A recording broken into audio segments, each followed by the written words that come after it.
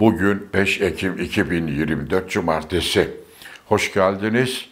Bizi izleyenlerin hatırlayacağı gibi ki ilgili videoda arşivde duruyor. Tam 8 gün önce yani 27 Eylül Cuma günü aynen şunu söylemiştim. Gelelim şahsıma iletilen bomba fısıltıya. Hamile bir kadının çocuğunu aldırmam demesi sonrası önemli bir yerden belediye başkan adayı yapıldı iddiaları var. Peki o kim derseniz kanıtlı olmadığı için ismini ve partisini söylemeyeceğim. Lakin fısıltı dillerdedir. Evet, önceki akşam patlayan Özgür Özel'le Manisa Şehzadeler Belediye Başkanı Gülşah Durbay ilişkisi iddiaları ilk defa bana gelmişti ve bu şekilde duyurmuştum. Kanıtlı olmadığı için olası bir karalama operasyonuna alet olmama adına ne partisini ne de ismini açıklamıştım. Derken konu dün isimler verilerek yazılan Ebru Küçükaydın imzalı köşe yazısıyla çok sayıda internet haber portalına manşet oldu. Sonrasında da ithamların merkezinde olan Manisa Şehzadeler Belediye Başkanı Gülşah Durbay iddiaların yalan ve iftira olduğunu açıkladı. Dahası kanserle mücadele ettiğini söyledi. Baştan söyleyeyim, iddialar ispatlanana kadar Gülşah Hanım'ın söylediklerini geçerli kabul ediyor ve hakkında asla bir imada dahi bulunmuyorum. Ancak nasıl Sinan Ateş ve Narin Çocuk olayını sorguladık, bu konuda da sorgulama yapacağız ve hiç kimse bundan rahatsız olmamalı. Zira söz konusu isimlerden biri Cumhuriyet Halk Partisi'nin genel başkanı. Birinci husus Gülşah Durbay kendisi açıkladı kanser olduğunu bir ay önce yani 4 Eylül'de öğrenmiş. Oysa söz konusu hamilelik iddiaları ondan önceye dayanıyor. Mesela bu iddia bana bir Cumhuriyet Halk Partili milletvekili tarafından Temmuz ayında aktarılmıştı. O gün somut bir veri olmadığı için ciddiye almadım ve gündeme getirmedim. Aynı iddiayı Eylül ayında iki farklı CHP kurmayından da işitince isim ve parti vermeden hadiseyi duyurdum. Söylemek istediğim Gülşah Hanım'ın kanser olmasıyla bu iddia arasında bir bağ yok. Zira ifade ettim. Şehzadeler Belediye Başkanı kendi söyledi kanser olduğunu bir ay önce öğrenmiş. Şunu da söyleyeyim. Gülşah Durbay'ın bir aydır hastalığını saklama sebebi olarak kardeşim hamileydi açıklaması çok da inandırıcı değil. Keza Gülşah Hanım Özgür Özel'in babasıyla tartışıp tartışmadığını ve de ayağının kendi evlerinde bu tartışma ve itişme sonrası yere kayıp düşüp burkulduğu iddialarına da suskun kaldı. Evet, asla böyle bir şey olmadı. Özgür Özel Almanya dönüşü evimize gelmedi demedi. Yoksa bu konudaki suskunluk Özgür Özel'in koruma polislerinin söz konusu olaya tanıklık etmelerinden mi sorusu gündemdedir. Yine hatırlayalım Özgür Özel ayağı burkulmasına rağmen bulunduğu Manisa'da hastaneye gitmeyip acıya katlanarak Ankara'ya döndü. Ankara'daki hastaneye gitti ki neden sorusu hala soruluyor. Bunlar gibi cevap arayan sorular inandırıcı şekilde cevaplanacağına önce kanser acındırması, ardından mahkeme korkutması doğrusu insana acaba mı dedirtiyor. Tekrar ediyorum suçlama yapmıyorum. Sadece gazetecilik gereği sorgulama yapıyorum. Söz konusu iddianın karşılık bulma sebebi ise Özgür Özel hakkındaki çapkınlık iddialarının dillerde olmasından. Özel 14 yıldır milletvekili olmasına rağmen eşini Ankara'ya getirmedi. Dahası her akşam gittiği bardaki tiyatrocu arkadaş grupları da biliniyor. Aynı şekilde kurultayda genel başkan seçilir seçilmez telefonla aradığı ilk ismin ünlü spiker Buket Aydın olması da kanıtlı ve de kişiliğin göstergesi bağlamında önemli. Buradan hareketle son iddialar yani Özgür Özel'e yakıştırılan çapkınlık söylentileri insana acaba mı dedirtiyor ve işleri gereği gazetecilerin de ilgisini çekiyor. Buna paralel olarak Özel'in 31 Mart'tan bugüne Tayyip Erdoğan'la Devlet Bahçeli'yi direkt olarak hedef almaması ve sert muhalefet yapmamasına özel hayat endişesinden diyenler de var. Özgür Bey ile alakalı özel hayat belgelerinin Tayyip Erdoğan'la önceki İçişleri Bakanı Süleyman Soylu kanalı ile Devlet Bahçeli'nin eline geçtiği iddiaları, şayiyaları dillerdedir ki malum Soylu emniyet ve jandarma istihbaratından sorumluydu. Kuşkusuz bütün bunlar soyut iddiadır ancak. Yine Özgür Bey'in genel başkan olmasıyla beraber iktidara karşı teslim olma görüntüsü bu gibi şeyleri akla getiriyor. Özgür Özel bundan sonra Tayyip Erdoğan ve Devlet Bahçeli'ye karşı aynı suskunluğunu sürdürür ise öyle olmasa bile kaseti olduğu için konuşamıyor denilecektir. Çünkü bir şeyin şuyu vukuundan beterdir.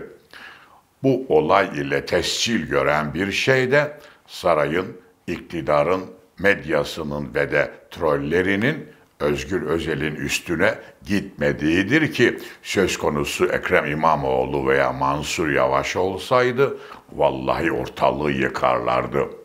Düşünün Akit gibi Cumhuriyet Halk Partisi karşıtlığı tescilli olan ve de provokatörlüğü kanıtlı olan Dinci Paçavra dün dokuz sütuna manşet Özgür Özel'i savundu, onu sahiplendi. Yahu bu akit Cumhuriyet Halk Partisi ve şanlı kurucularını şeytan gibi gören ve bunu sütunlarına yansıtan utanmaz bir mevkude. Çıktığı ilk günden beri Cumhuriyet Halk Partisi ile Atatürk zihniyetine sövüyor. Halbuyken şimdi Özgür Özel'i savunması ve kol kanat germesinin söyleyin yok mudur bir anlamı ve perde arkası. Aynı şekilde hiçbir saray gazetesi olayı iddia bağlamında bile yansıtmadı, gizledi. Abdülkadir Selvi gibiler daha ileri gitti, Özgür Özel'i yedirtmeyiz ifadelerini kullandı. İşte böyle bir sahiplenmenin adı Özgür Özel Tayyip Erdoğan'ın çıkarlarına hizmet ediyor demek değil mi? Tersi olsa İslamcı ve saray gazeteleri kıyametleri koparmaz mıydı? Baktılar Özgür Özel muhalefet yapmıyor. Baktılar Tayyip Erdoğan'ı eleştirmiyor ve CHP büyümeyip küçülüyor, geriliyor. Baktılar Cumhuriyet Halk Partisi'nin 31 Mart'ta kazandığı zafer AKP başarısına dönüşüyor. Baktılar Özgür Özel'in özel hayatıyla alakalı gereğinde kullanılabilecek ellerinde belgeler var. Baktılar Özgür Özel'i gerektiğinde Ekrem İmamoğlu ve Mansur Yavaş'a karşı kullanma potansiyeli var. Başladılar ölesiye sahiplenmeye. 40 yıl her gün siyaset yazan, siyaset konuşan biri olarak söylüyorum. Bu normal değildir. Bunun başka açıklaması yoktur. Israrla altını çiziyorum. Sadece bu sahiplenme bile Özgür Özel'in neye, kime hizmet ettiğini belgeliyor, ortaya koyuyor. Buradan hareketle olması gereken Özgür Efendi'nin behemehal Cumhuriyet Halk Partisi Genel Başkanlığından ayrılmasıdır. Evet, Özgür Özel özür dileyerek istifa etmelidir zira kısa zaman içinde foyaları döküldü ve böyle bir yükü taşıyamayacağı ortaya çıktı. Geçen her gün hem Cumhuriyet Halk Partisi hem kendi aleyhinde olacaktır. Soruyorum 14 yıl Cumhuriyet Halk Partisi'ni yöneten Kemal Kılıçdaroğlu pek çok konuda topa tutulurken ona durduk yerde neden böyle bir suçlama veya yakıştırma yapılmadı?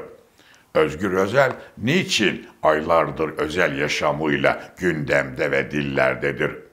Bakın Cumhuriyet Halk Partisi böyle bir imaja ve görüntüye sokulduğu için 31 Mart zaferi sonrası oyunu yükselteceğine düşüyor. 6 ay önce %37 oy alan CHP, Orece'nin yeni anketinde kararsızlar dağıtıldığında ancak %30 oy alabiliyor ki AKP CHP'yi kıl payı farkla olsa da geçmiş durumda. Sorarım size böylesine bir ekonomik çöküş ve tükeniş tablosunda CHP nasıl AKP'nin gerisinde ve de kararsızlar dağıtılmadan oyu yüzde yirmi olabilir? Açık net kanıtlı. Cumhuriyet Halk Partisi Özgür Özel'le beraber büyüme bir yana yeriliyor.'' Özel zerre bir muhalefet yapmadığı, yapamadığı gibi yarınlar adına, gelecek adına da bir vizyon koyamadı.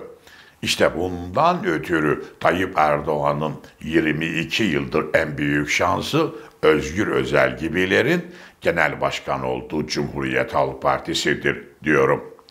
CHP derken elbette kurumsal kimliğiyle kimsenin bir derdi sorunu yok.